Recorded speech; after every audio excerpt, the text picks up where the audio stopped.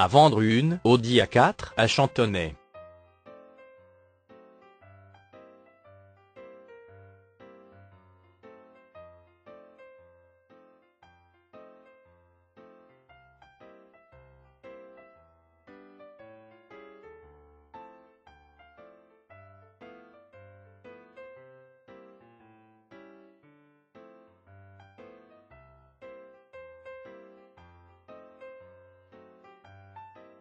Pour plus d'informations, cliquez sur le lien dans la description.